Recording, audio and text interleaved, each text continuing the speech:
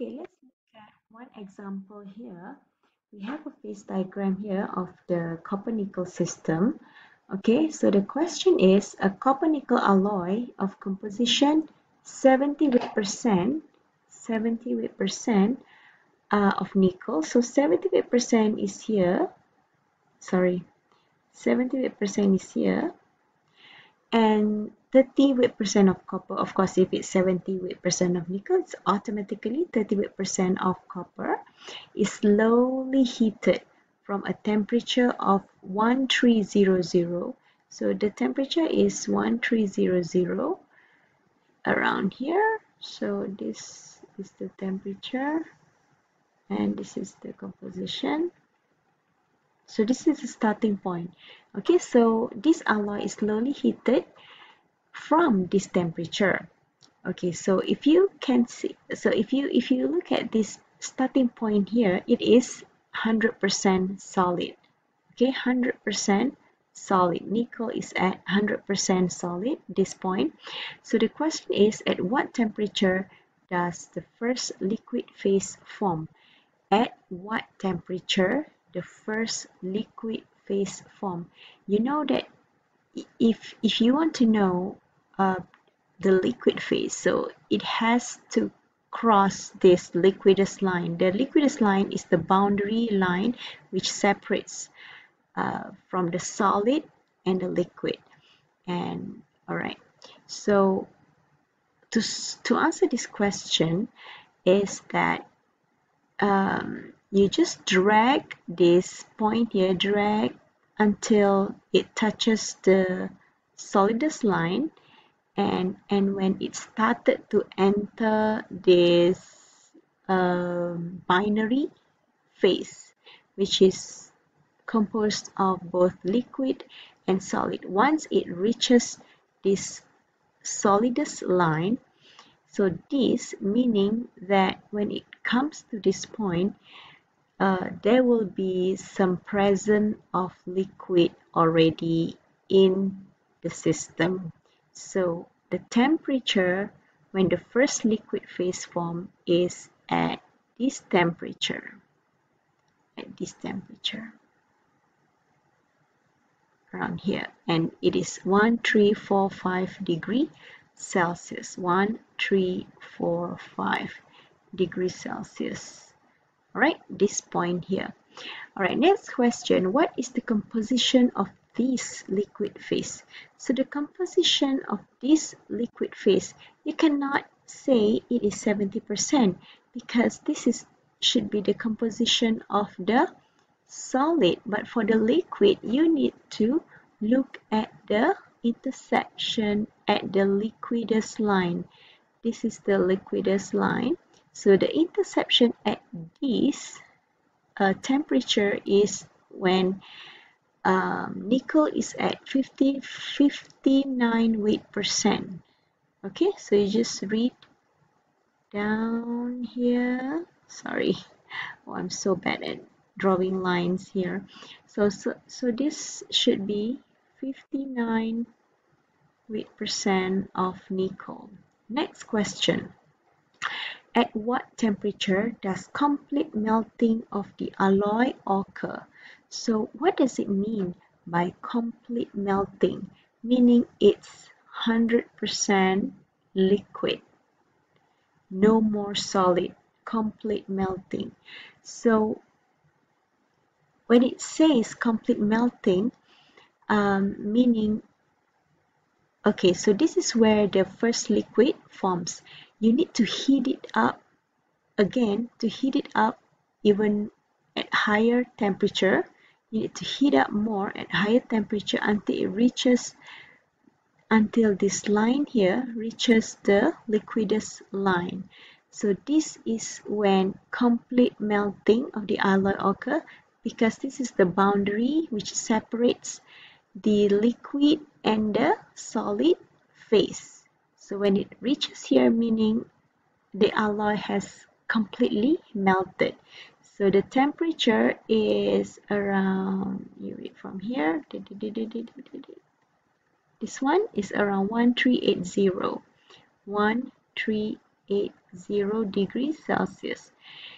Alright, so next one is what is the composition of the last solid, last solid remaining prior to complete melting. So this is when the complete melting occurs.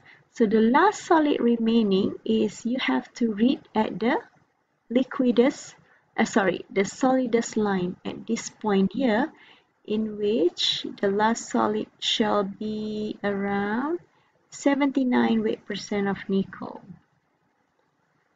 Percent of nickel. Okay? So it's quite confusing, but if you understand the concept of the liquidus line and the solidus line, you should be able to really figure out what does it mean by completely melting here.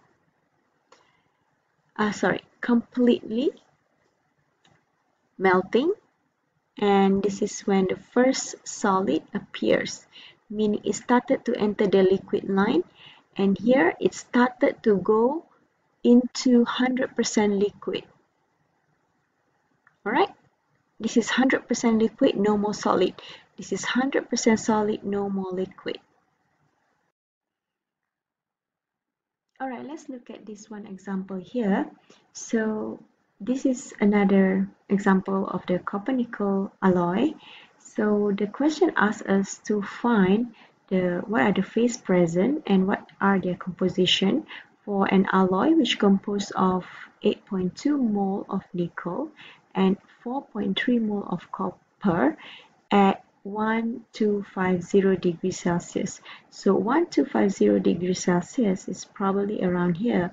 But give the question gives the amount of nickel and copper in mole. Alright. So this one, the diagram actually requires us to know the weight percent of nickel. So what you have to do is you need to convert this um, 8.2 mole and 4.3 mole of nickel and copper into grams by using this calculation so this is nothing new to you so this is the um, the weight of nickel equals to the number of mole times the atomic weight so 8.2 mole times 58.69 gram per mole. So you will get 481 0.3 grams of nickel here nickel.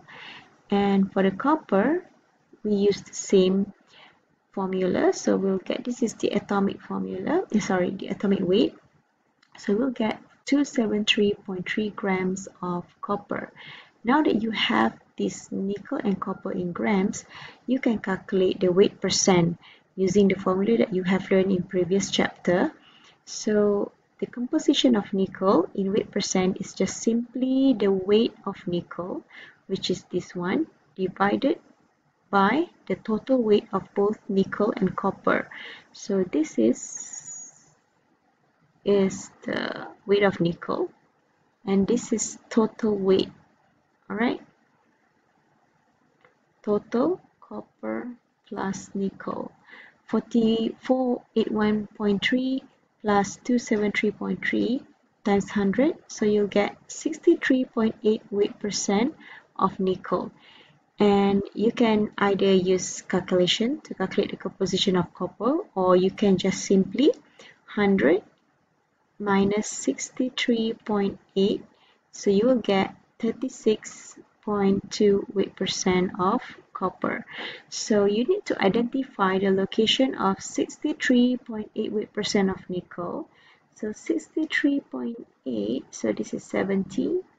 63.8 supposed to be around here. And this is the temperature. So what is the point? Huh, it's this point. Let me put X here. So now that you have identified the point, at the phase diagram which represents 8.2 mole of nickel and 4.3 mole of copper so you should be able to answer the question. So the phase present at this point is just simply solid. This is definitely solid no liquid and definitely not in the binary phase okay so what is the composition? The composition of this point is definitely this uh, reading here which is 63.8 weight percent of nickel